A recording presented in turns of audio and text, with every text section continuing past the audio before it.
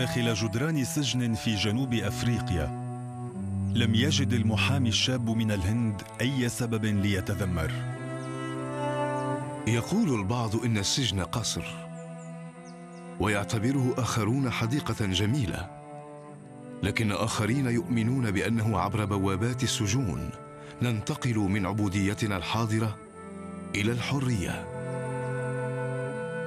كانت سنة 1907 والمحامي الشاب من الهند كان مهندس غاندي.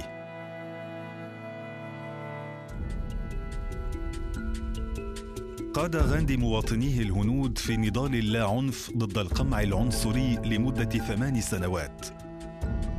تظاهروا نحو الأرض الممنوعة وأحرقوا أوراق تسجيلهم. توقعوا أن يعتقلوا ولم يخب ظنهم. قال غاندي إن الرفض اللاعنفي للتعاون مع الظلم هو السبيل للتغلب عليه. لقد أطلق اسما على سلاح اللاعنف ساتياغارا التمسك بالحقيقة.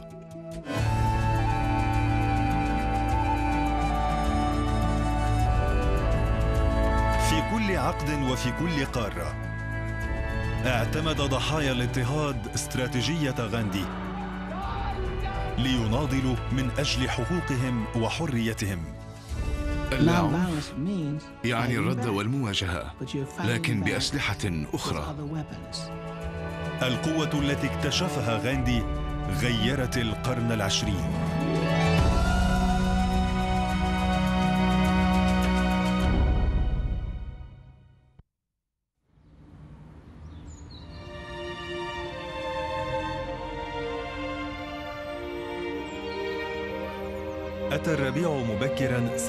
1940 معززا بذلك الوهم بأن الدنمارك الهادئة ستبقى غير متأثرة بالحرب التي تنتشر في أوروبا. كانت الحكومة الدنماركية قد أعلنت الحياد وخفضت عدد قواتها المسلحة إلى النصف. كانت الدنمارك تنوي الاستمرار في السلم. صباح التاسع من نيسان أبريل. تبدل كل شيء. هاجم الألمان الدنمارك جوا وبرا وبحرا ولاقوا مقاومة رمزية في الجنوب إلا أن الدنمارك أمرت جنودها بالكف عن القتال.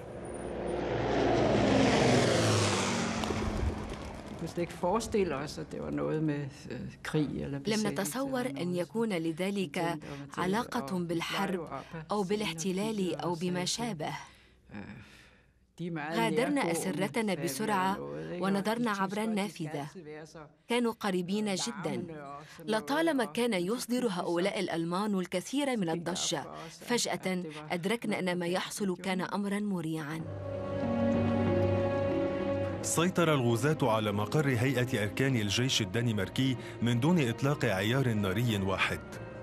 وكان الدنماركيون الذين لم يصدقوا ما كان يحصل يجوبون الشوارع يراقبون بلا حول ولا قوة. كان قد كتب على المناشير الألمانية ما يلي أتينا كأصدقاء لا كأعداء ووعدوا بأن تبقى الدنمارك في ظل الحكومة والقانون الدنماركيين. لكن لم يصدق ذلك أحد. كان هتلر قد احتل دولة بكاملها في أقل من ست ساعات. ذلك العصر طلب رئيس الوزراء الدنماركي تورفالد ستونينغ من البرلمان الدنماركي القبول رسميا بشروط الاحتلال الألماني. في ذلك الحين اعتقد والدي أن سياسته ستكون أقل إيذاء للناس. لو لجأنا إلى القوة العسكرية في التاسع من نيسان لكانوا قصفوا كوبنهاجن من دون أدنى شك ولأزهقت أرواح آلاف الأشخاص. بدلا من معاناة الهزيمة اختار القادة السياسيون الدنماركيون عدم القتال. كان هدفهم البقاء على قيد الحياة. حاولوا أن يجعلوا الألمان يفون بوعودهم أي احترام حياد الدنمارك. فاوضوا شروط الاحتلال معترضين. آملين أن يحولوا مسرحية علاقات الصداقة لمصلحة الدنمارك. كان الملك في مكانه والبرلمان يشرع. كانت الشرطة مسؤولة عن القانون والنظام والمحاكم الدنماركية تعمل وكذلك مجتمعات أخرى. في البداية كان الجنود الألمان مؤدبين وقد أظهروا الاحترام لكن وجودهم بحد ذاته كان استفزازا وتساءل الدنماركيون الآن وقد استسلمنا ماذا بعد؟ لم يكونوا قد استعدوا لاحتلال ألماني لم يكن لديهم غاندي ولم تكن لديهم منظمة مقاومة في معظم المنازل كان على الجميع تقبل الأمر وتوجيهه لمصلحتهم لكن كان يمنع التعاطي مع الجنود الألمان وتوجيه الحديث لهم. المهم كان توخي الحذر. اعتمد الوزراء الدنماركيون سياسة المقاومة تحت ستار التعاون. تعاون الدنماركيون مع الألمان، لكن ذلك لم يكن سوى تكتيك للحفاظ على الحكم الذاتي. كانت المطالب الألمانية تمر بمفاوضات الدبلوماسيين وتتعرض لإعاقة الدواوينيين وتحجب بهدوء عند المستطاع، لكن ذلك لم يكن كافيا بالنسبة إلى العديد من الدنماركيين. تعرضت الدنمارك للإذلال فجميع السكان قد شعروا فجأة بأنهم فقدوا شيئا البعض من كرامتهم وكرامة بلدهم ماذا يفعل المرء؟ ما عساه يفعل في مثل هذا الوضع لم يكن بالإمكان القتال لأن القتال ليس موجودا. لذا اجتمعوا في متنزه المدينة وأنشدوا النشيد الوطني.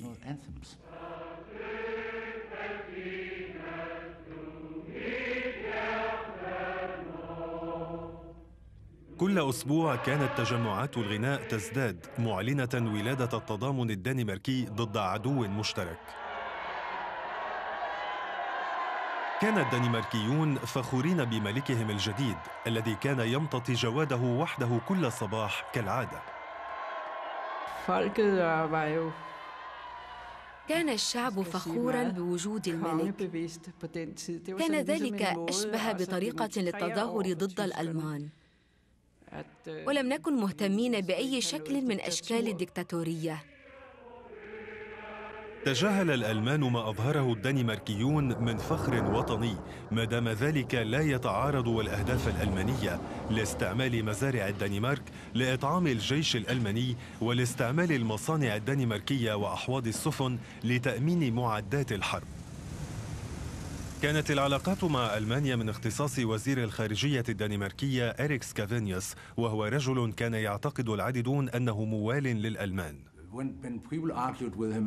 حين تجادل الناس معه وقالوا له إنهم على المدى الطويل يفقدون احترامهم في كل أنحاء البلاد. قال أجل هذا صحيح. لكن من الممكن أن نحافظ على احترامنا ونموت جميعاً.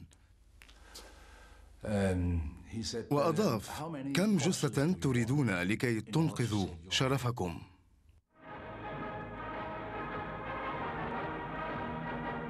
أراد سكافينيوس أن يعتقد الألمان بأنهم ينالون مرادهم ليبعد الضغط عن الدنمارك. في تشرين الثاني نوفمبر عام 1941 ذهب إلى برلين ليوقع معاهدة تشرع اجتياح الألمان للاتحاد السوفيتي.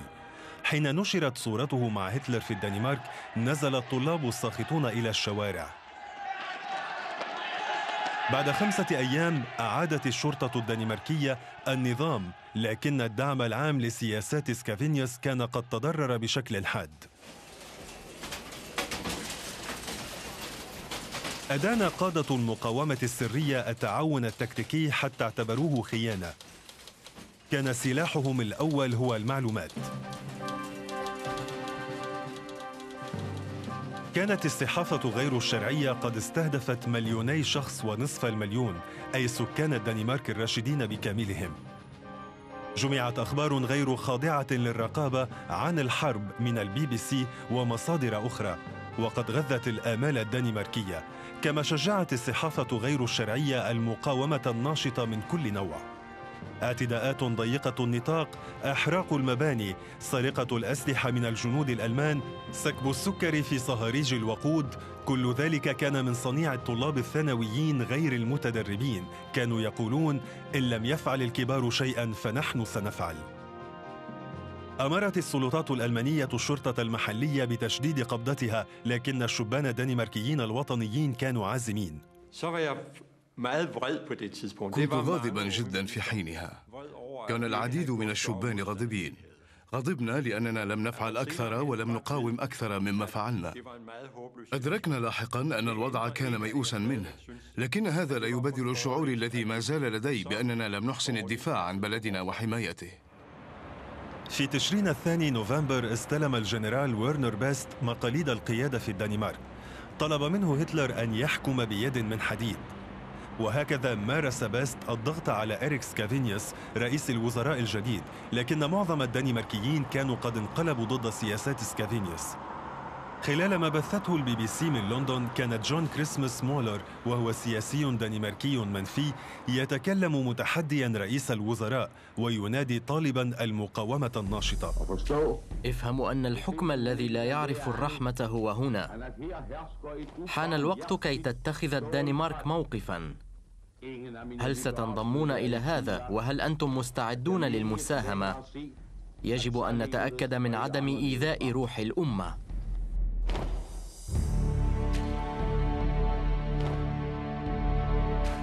في ربيع سنة 43 كان عمر الاحتلال الألماني ثلاث سنوات. استمرت واجهة التعاون. لكن الولاء الشعبي كان قد بدأ يتحول إلى حركة المقاومة. نهارا كانت الحكومة تشن حملات ضد أعمال التخريب. وليلا كانت الانفجارات تزعزع المصانع وسكك الحديد قاطعة المؤن الألمانية عند مصدرها.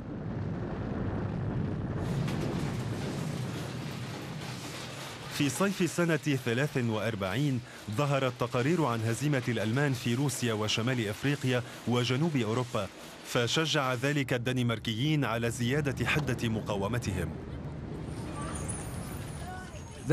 حصلت إضرابات في بعض البلدات والمناطق. ليس فقط في المصانع بل في المدن كاملة. حيث أقفل كل شيء. بما فيها الإدارات والمتاجر. تضاعفت أعمال التخريب في غضون شهر واحد. وكان الدنماركيون الذين لا يتمكنون من تنفيذ أعمال التخريب يجدون سبلا أخرى للمقاومة متحدين حتى حكومتهم ذاتها. في البداية عملنا ببطء شديد جدا. وفي الواقع لم نعمل بالسرعة التي عملنا بها قبل الحرب. تلقينا أوامر ببناء سفن جديدة لكننا لم ننتهي من بنائها. تم تخريب عملية البناء. وفي النهاية اضطروا إلى جر السفن إلى ألمانيا لإنهائها. بذلت السلطة الدنماركية ما بوسعها لإيقاف الإضرابات. واكتشفوا أن ذلك مستحيل. لم يستطيعوا إيقافها لأنهم فقدوا سلطتهم. كانت سلطة قيادة الجماهير بين يدي قادة غير رسميين أو منتخبين وبين يدي الصحافة غير الشرعية. كانت الحكومة صورية فقط وبقي أمام القادة السياسيين الدنماركيين عمل واحد. صباح الثامن والعشرين من آب أغسطس عام 43 تلقوا إنذارا أخيرا من المحتلين الألمان. كان يجب منع الإضرابات وفرض منع التجوال وإعدام المخربين. كان يجب أن تعطي الدنمارك ردا قبل الرابعة من بعد الظهر. ناقش البرلمان المطالب طيلة ست ساعات. لم يكن بوسعهم القبول بتلك المطالب.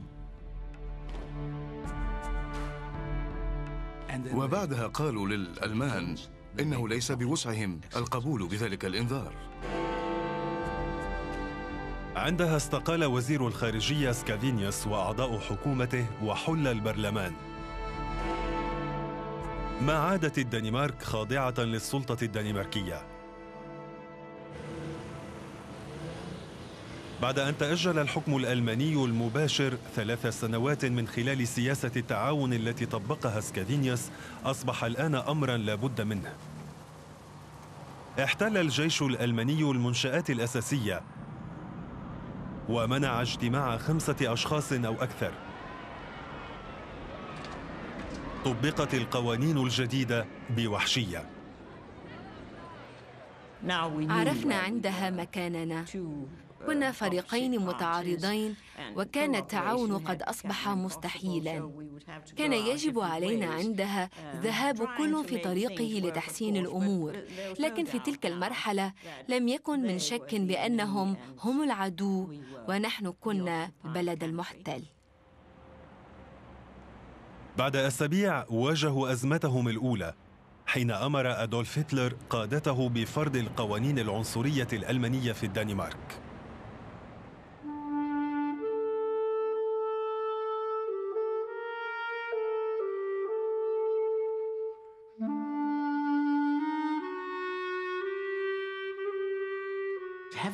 بعد تخطي أزمة الحرب وعنفها ساد الاعتقاد بأن الأمور ستكون على ما يرام. ولكن في الواقع الدرع التي كانت قد حمتنا من مواجهة مصيرنا في أوروبا هذه الدرع اختفت وكنا واقفين بلا حماية في مواجهة الألمان.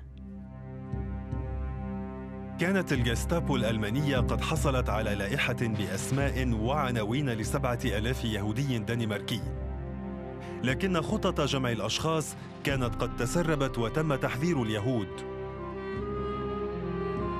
وتقدم آلاف الدنماركيين لإنقاذهم. أتذكر الصدمة التي تلقيتها يوم ذهبت إلى المدرسة. وفجأة طرق المدير على الباب. وطلب أن أخرج أنا وصبي آخر من الصف. وقال لنا إن من الأفضل أن نسرع لأن والدينا بانتظارنا. كان علينا مغادرة الشقة لأن الألمان قادمون. بدأت عمليات الجمع ليلة الأول من تشرين الأول أكتوبر. لكن اليهود كانوا قد اختبأوا في العليات والأقبية في الكنائس وفي منازل آلاف الدنماركيين الذين كانوا قد استقبلوهم عفويا.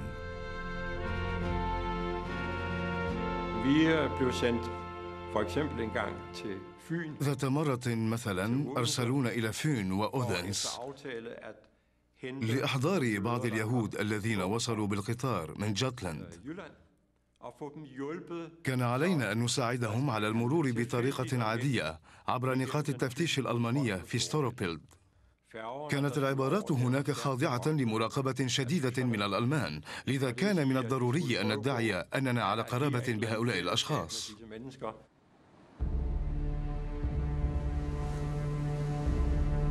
كان ملاذهم السويد. على بعد عدة أميال فقط عبر المياه التي كانت البحرية الألمانية تسير دوريات فيها. اختبأوا في الغابات وانتظروا.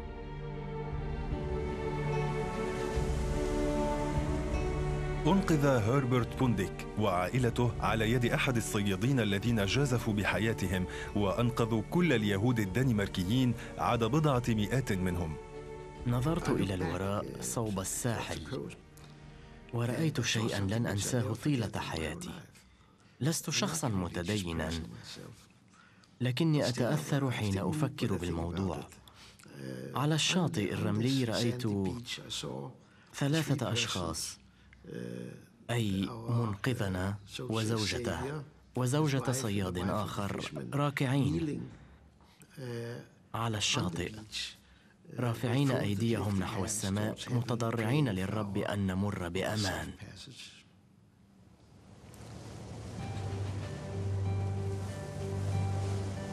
كان إنقاذ اليهود قد وحد الدنماركيين وألهمهم بينما كانوا قد بدأوا يعتبرون حركة المقاومة بمثابة حكومتهم الشرعية. نشر مجلس الحرية أول منشور سري في تشرين الثاني نوفمبر سنة 43 كان برنامج مقاومة هدفه حرمان الألمان من فوائد الاحتلال. مع المتفجرات والمعدات التي أسقطتها القوات البريطانية من الجو تفادت المقاومة السرية الأهداف البشرية مركزة على الصناعة المتعلقة بالحرب. كانت أهدافهم الأولى المصانع الدنماركية ووسائل النقل التي تمد الجيش الألماني بالمؤن. ازاء كل نجاح كان رد النازيين أقوى وأشد فتكا. فكانوا يقصفون المسارح والنوادي وحدائق تيفولي المشهورة في كوبنهاجن. في تحرك يائس لإيقاف الانفجارات أعلن الحاكم الألماني حظر التجوال على سكان كوبنهاجن في حزيران يونيو سنة 1944 رد العمال في حوض السفن في بورمايستر ووين بخطة ذكية جدا لكن خطرة. كنا قد أملنا بالتخلص من حظر التجوال. أردنا أن نحظى بحريتنا. لم نشأ أن يسجنونا ليلاً. عند الثانية عشرة ظهرا ذهبنا إلى البوابة وبدأنا نركلها. قلنا إننا نريد العودة إلى المنازل لنروي حدائقنا. عاد 1200 عامل في حوض السفن باكرا إلى منازلهم وأصروا على أنه ليس إضرابا. كان عليهم ري حدائقهم عصرا لأن حظر التجوال منعهم من ريها في المساء. وانتشرت حركة العودة باكرا إلى المنزل بسرعة. غادر آلاف العمال في مصانع أخرى وظائفهم أيضا لكن قليلين منهم ذهبوا إلى حدائقهم. كانوا يتجمعون في الشوارع ويتظاهرون ويضرمون النيران ويسخرون من الدوريات الألمانية.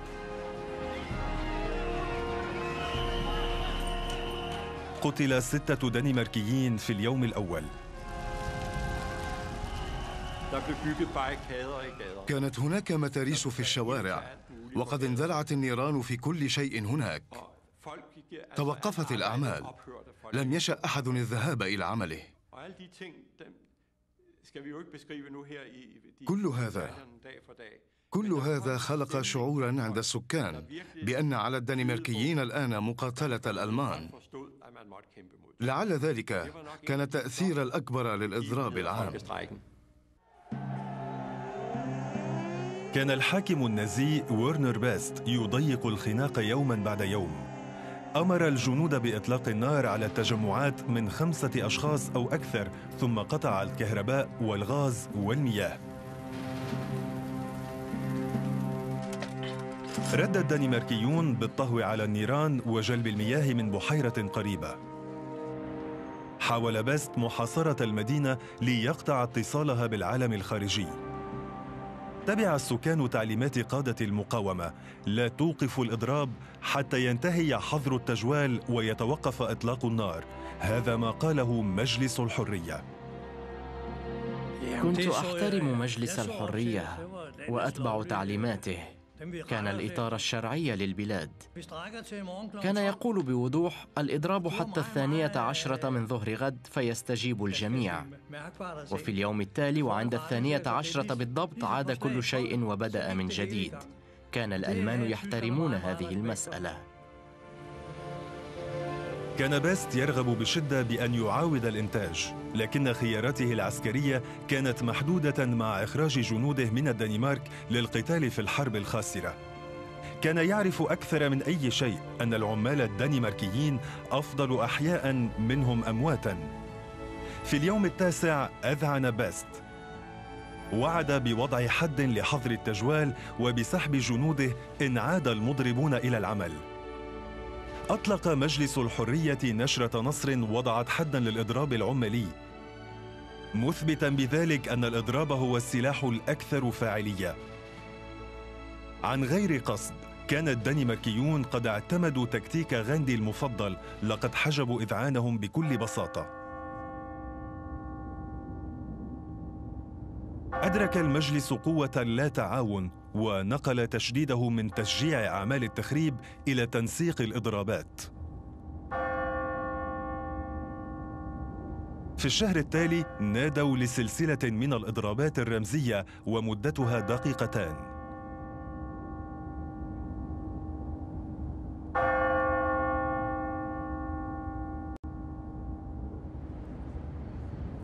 وعانت الدنمارك شتاء قاسيا أخيرا مع النقص في الوقود والمياه والطعام.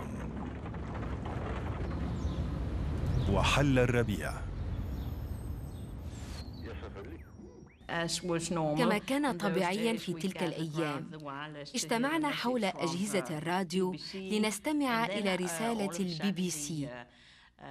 وفجأة توقف البث وسمعنا رسالة رائعة بأن الألمان كانوا قد استسلموا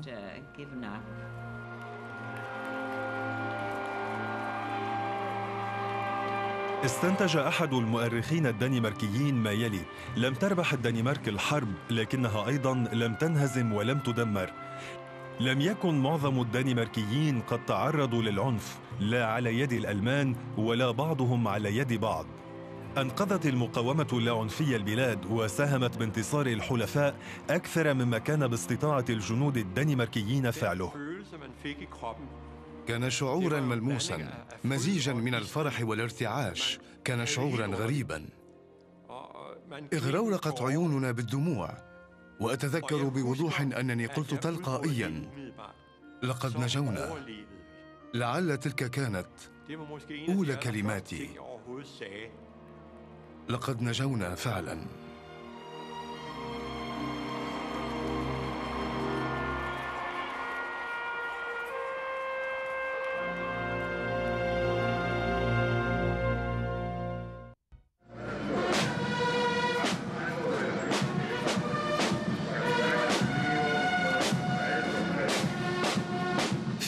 1983 كان الجنرال أوغوستو بينوشي قد حكم تشيلي بسلطة مطلقة قرابة عشر سنوات. كنا بحاجة إلى شخص يتجرأ ليقول للدكتاتور إنه كذلك. وليقول إن الدكتاتورية كانت دكتاتورية وليواجهها في معقلها الخاص. ليس بالسلاح بل أن يتجرأ ليقول لهم إن ما كان موجودا في تشيلي كان خطأ ولا بد من تغييره.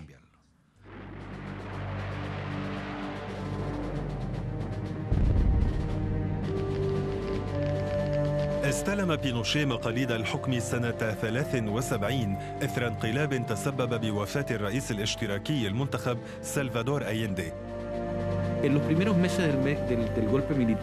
خلال الأشهر الأولى من النظام العسكري وصل عدد الذين زجوا في السجون إلى أكثر من أربعين ألفا. وقد قتل أو أعدم أو أخفي أكثر من ثلاثة آلاف شخص. أزال بينوشي بلا رحمة كل تحد لسلطته وقد زرع بذلك الخوف في كل ناحية من الحياة التشيلية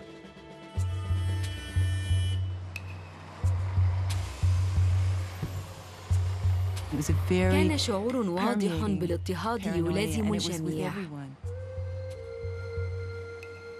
كان الكل قد اختبروا نوعا من القمع في عائلاتهم ولذا كانوا حذرين جدا. كنت أذهب برفقة زوجي إلى لقاء اجتماعي ولم يكن يعرفني بأحد. سألته عن الأمر فأجاب لا نفعل هذا الآن إنه خطر جدا. يجب ألا تعرفي أسماء الأشخاص.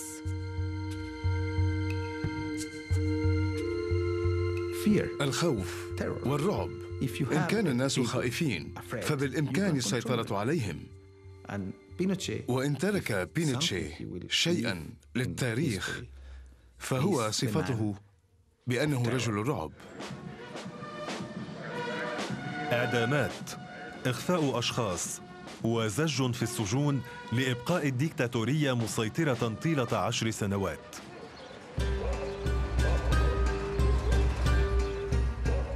سنة 1983 زادت الأزمة الاقتصادية الحادة نسبة البطالة إلى 30%. شعر تشيليون بأنه ما عاد لديهم ما يخسرونه، بدأوا يفكرون للمرة الأولى بمعارضة النظام. ظهرت أولى ملامح المعارضة في قلب الاقتصاد التشيلي في مناجم النحاس في جبال الأنديز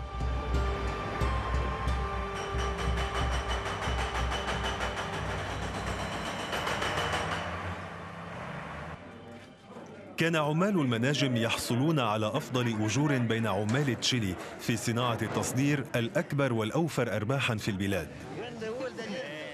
كان قائدهم رودولفو سيجال في التاسعة والعشرين من العمر أجيرا في أكبر منجم للنحاس في تشيلي وكان قد انتخب رئيسا لمؤتمر العمل الوطني.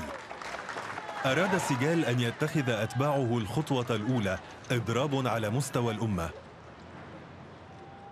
كانت عشر سنوات قد مرت ولم يخرج أحد إلى الشارع. كان يجب أن نرى ما ستكون ردة فعل البلاد. وأن نرى إن كانوا يتجرؤون على فعل ذلك. كان هدفنا يقضي بفتح أعين الناس وبتشجيعهم.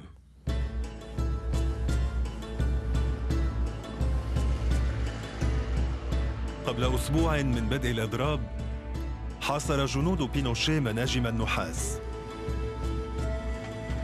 كان سيجال يعرف أن الدماء ستهرق إن استمر الإضراب. فغيروا خططهم. بدلا من الإضراب أعلنوا يوم احتجاج وطني. كان لديهم بضعة أيام للاستعداد ليس لتعبئة أعضاء النقابات وحسب بل وكل السكان أيضاً. أتذكر جيدا ذلك الصباح. في البداية لم نكن نعرف إن كان الشخص يمشي ببطء. أم يقود سيارته ببطء؟ أم يسير ببطء على الرصيف؟ لم تكن لتعرف هل هو يقوم بنزهة وحسب أم كان يحتج. أخيرا عند الظهر كان الأمر جليا.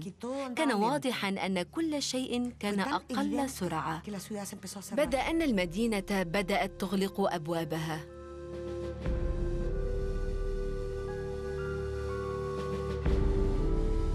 مع هبوط الظلام لم يعرف أحد إن كان الاحتجاج النهائي الصريح سيلقى نجاحا. وعند تمام الثامنة مساء بدأ كل شيء بشكل متردد بداية.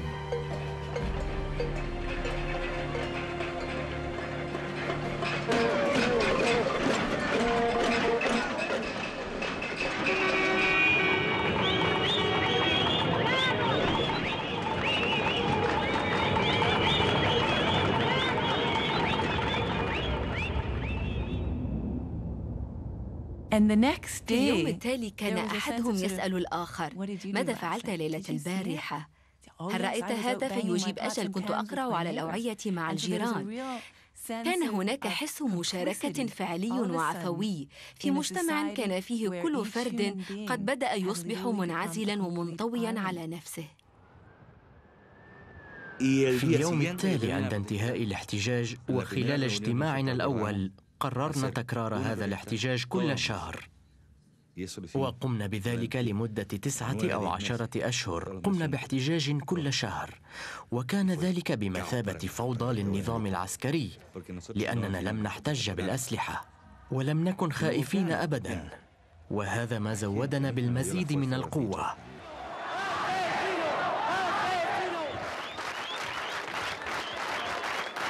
ونما شعور كبير بالفرح مع نمو الاحتجاجات كل شهر. بدأ الناس يصدقون أن التظاهرات الجماهيرية وحدها ستطيح بالديكتاتورية.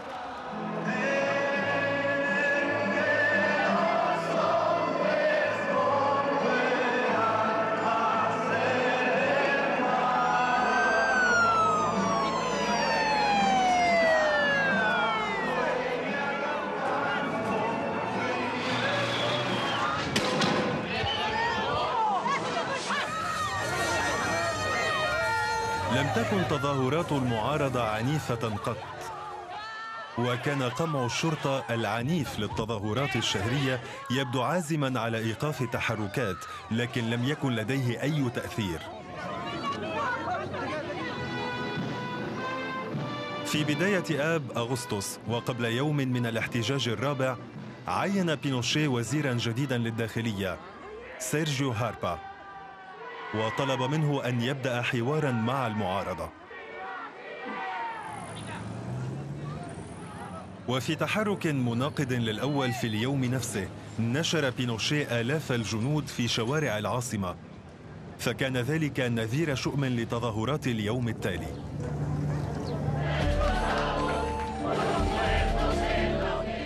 قمعت قوى الأمن تظاهرة آب أغسطس بقوة لم يسبق لها مثيل. في أحد تقارير الشرطة قيل إن 17 مدنيا لقوا حتفهم لكن العدد الحقيقي كان أكثر من هذا بكثير. في تلك المرحلة بالذات والتي كانت صاخبة جدا كان هناك عنف كثير. ولأن العنف كان على أشده كان بينوشي قد أنزل 16 ألف جندي إلى شوارع سانتياغو. لقي أكثر من ثمانين شخصا حتفهم. وبدأ السكان بالتمرد. صعق الكاردينال الجديد للكنيسة الكاثوليكية في تشيلي لإراقة الدماء تلك وعرض تبني الحوار الذي كان بينوشي قد وعد به. في اللقاء الأول أخبرني جابرييل فالديس أنه سيعطيني وثيقة. فأجبته بأنني لن آخذ تلك الوثيقة لأنه اتفاق صاغه ذلك الصباح مطالبا باستقالة رئيس الجمهورية. وغير مقر بشرعيته. وإن كان رئيس الجمهورية رئيسا غير شرعي فليس لدي ما أفعله هنا لأنني أمثله وهنا ينتهي كل شيء.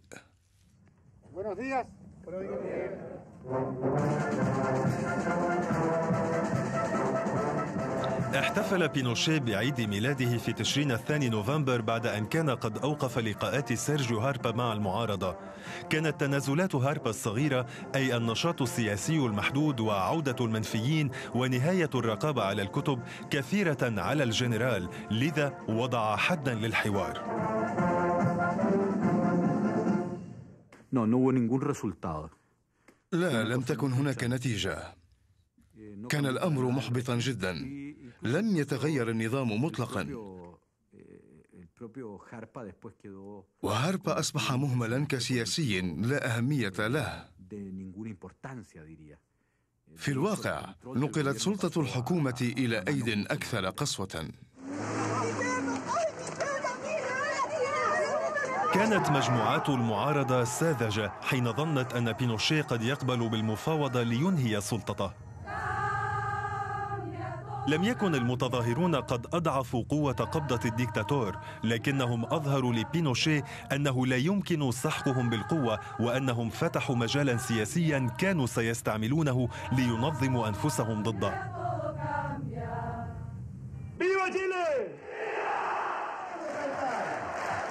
في أواخر تشرين الثاني نوفمبر سنة 85 حضر نصف مليون شخص أكبر تجمع سياسي في تاريخ تشيلي. تكلم جابرييل فالديز باسم أحد عشر حزب معارضة والكنيسة الكاثوليكية. الوفاق الوطني تم تشكيله لقيادة انتقال غير عنيف نحو الديمقراطية. حذر فالديز قائلا إن لم ندعم الوفاق الوطني فنحن متجهون نحو الحرب الأهلية.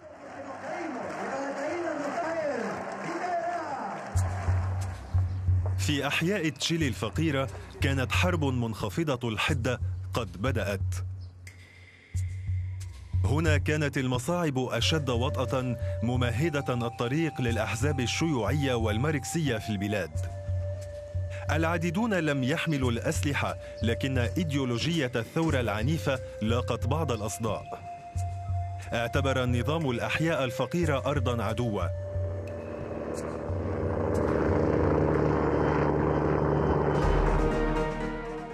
جمع الشبان في الأحياء الفقيرة واستجوبوا في المدرجات والحقول ونقلوا إلى السجون من دون محاكمات. اختفى المئات منهم من دون أثر.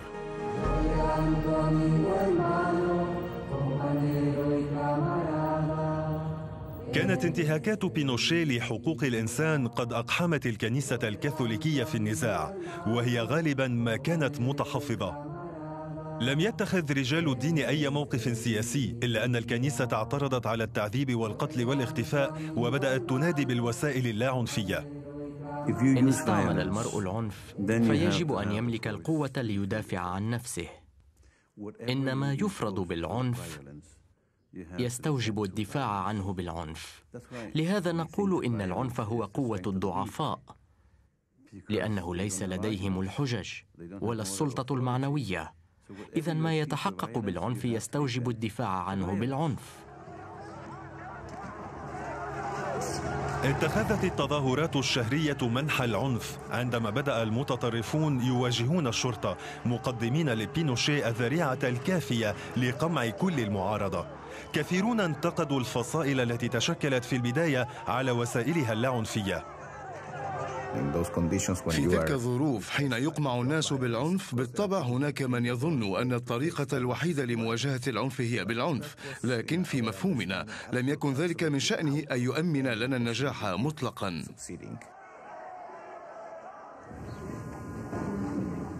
في نهاية صيف سنة 86 أصبح ماثلا احتمال اندلاع حرب أهلية شاملة. كشفت الاستخبارات التشيلية عن مخبئ أسلحة في الصحراء الشمالية وتعقبوه إلى مجموعة مقاتلة تابعة للحزب الشيوعي التشيلي. أظهرت الأدلة أن الأسلحة قادمة من كوبا وقال بينوشي أن ذلك يثبت أن خصومه يعدون لثورة. بعد أسابيع قليلة هاجمت العصابات المدججة بالسلاح موكب الجنرال بينوشي على طريق جبلية نائية وقالت وكالات الأنباء الحكومية أن خمسة حراس تابعين للرئيس لقوا حتفهم لكنها لم تذكر بينوشي بعد أربع ساعات ظهر الدكتاتور على التلفزيون ليصف الهجوم. بدا غير متأثر بنجاته بأعجوبة. وعاد إلى القصر الرئاسي بتبجحه المعتاد. كان من شأن ذلك الحادث تعزيز صورته كشخص لا يقهر. أصبح الجميع عالقين بين المطرقة والسندان. هل نتوجه نحو صراع مسلح حقيقي؟ كما شهدنا في أمريكا الوسطى مع الأعداد الهائلة من القتلى ونسبة المعاناة التي رافقتها. أم هل نبحث عن وسيلة أخرى؟ وهو أمر يكتنفه الغموض الشديد. وهكذا بدأ البحث لإيجاد طريقة تؤمن مخرجا من هذا الطريق المسدود.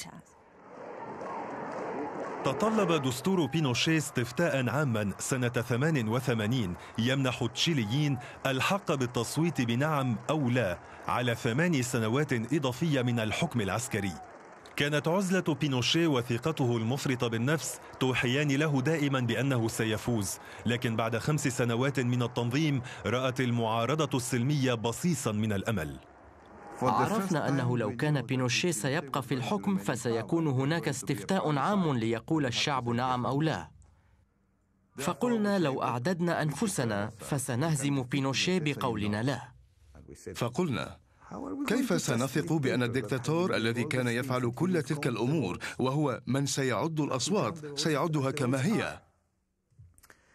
أدركنا بعدها أنه ليس لدينا وسيلة أخرى. فعزمنا على الذهاب في ذلك الاتجاه وتهيئة كل الظروف لتفادي أي غش.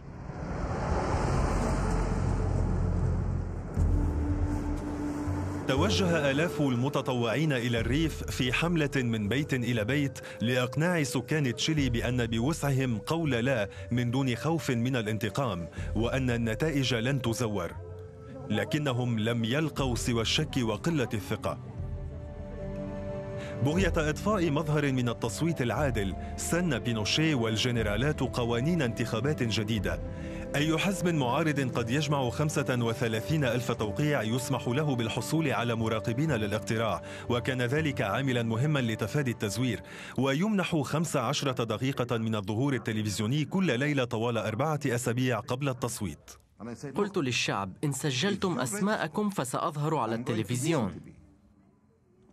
ويوم أظهر على التلفزيون سأقول لبينوشي أن يتنحى. وأول شيء أريد قوله لك السيد بينوشي بعد أن حصل حزب لاغوس على الترخيص نال فرصته عندما ظهر على شاشة التلفزيون في برنامج تحليل إخباري مشهور. كان يحمل قصاصة من صحيفة كتب فيها أن بينوشي قال إنه لن يكون مرشحا في الاستفتاء العام. وتقول إنك تعد البلاد بثمان سنوات إضافية من العذاب والقتل وانتهاكات حقوق الإنسان. بالنسبة إلي ليس مقبولا أن تشيليا يرغب بالسلطة لهذا الحد ويصر على التمسك بها مدة 25 سنة. إثر هذا الأداء الشجاع أصبح ريكاردو لاغوس مشهورا بين ليلة وضحاها وكان هذا يؤذن بأهمية التلفزيون في حملة لا المقبلة. كانت حقوق الإنسان نقطة الضعف عند بينوشي. وجهزت حملة لا لبرامج تلفزيونية تبرز التعذيب والموت والسجن. لكن المستشارين السياسيين الأمريكيين نصحوهم بأن التفكير بمخاوف الماضي قد يضعف اهتمام الناس. لقد طوروا حملة موجهة نحو المستقبل. كانت حملة ركزت على مسائل المعيشة اليومية. وكانت حملة فاجأت فعلا. نظام بينوشي ومؤيديه إلى أقصى حد حين بثت بشكل مباشر في الليلة الأولى من الأيام الثلاثين للحملة.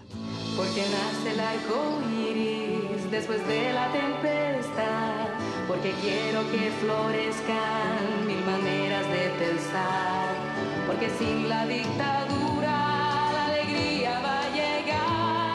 Porque pienso en el futuro, voy a decir que no. لكن تلك اللا ما كان معناها. نعم للديمقراطية. كانت تعني نعم لمزيد من العدالة الاجتماعية ولا للظلم.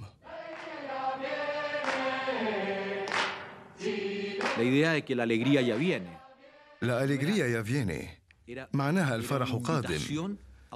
كانت دعوة لبلد يخص الجميع. سادت فكرة أننا سنهزم الدكتاتورية بالقلم لا بالسلاح. كان يجب أن نسير تلك الطريقة من دون كره من دون حقد ومن دون انتقام.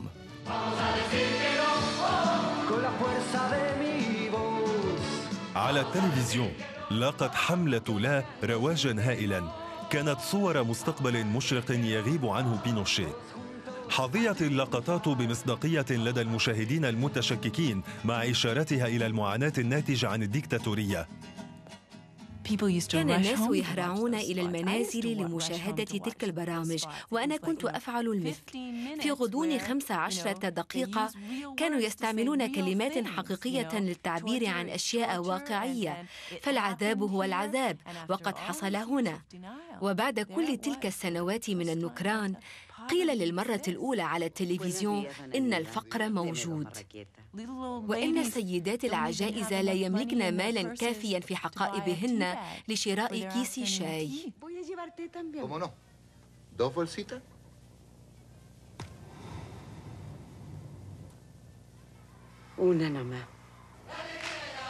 No más miseria.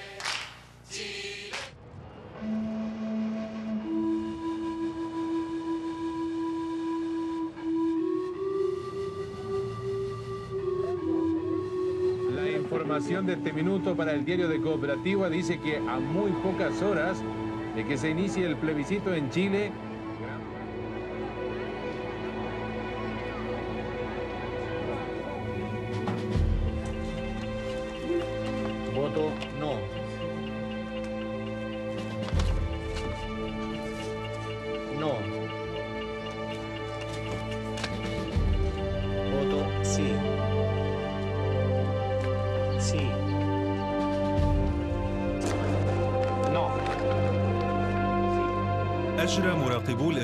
لدى المعارضة عد أصوات موازيا بناء على تقنيات العينات.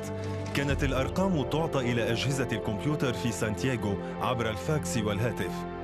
بحلول المساء كانت التوقعات تشير إلى فوز لا بشكل حاسم وأعلنت محطة إذاعية صغيرة مستقلة النتائج. بينوشيه الذي كان محتجبا في القصر الرئاسي لم ينبس ببنت شفا. زادت الشكوك حول التزوير الانتخابي مع مرور الوقت وعدم إعلان حصيلة الأصوات. عند منتصف الليل دخلت القوات البحرية والجوية التابعة لبينوشيه وقادة الشرطة إلى القصر. وقال الجنرال فرناندو ماتي قائد القوات الجوية للصحفيين يبدو أن اللا ربحت. كان ذلك تصريحا علنيا يحذر بينوشي للقبول بالهزيمة.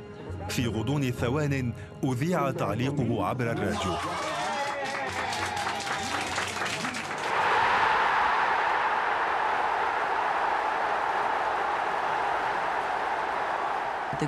كانت القوة الكبرى في الأمر أن ذلك نبع من أشخاص عاديين واستثنائيين لقد وضعوا بالفعل حياتهم على المحك وخرجوا إلى الناس وكانوا مستعدين لاتخاذ موقف.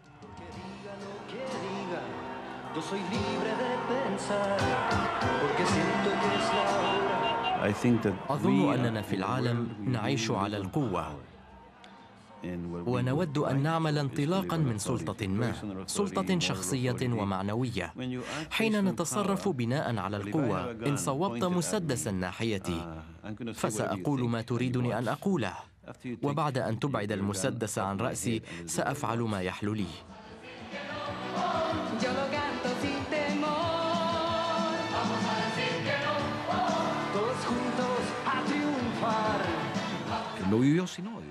كيف عاش الناس تلك اللحظة؟ عاشوها من دون كره. مقتنعين بأنهم كانوا هم المشاركين والممثلين. لم يكن هناك قائد مؤثر أو مقاتل أو طلعي يقول أنا فعلت هذا. تلك الليلة شعروا بأنهم فعلوا ذلك بأنفسهم. كم كان عددهم؟ سبعة ملايين.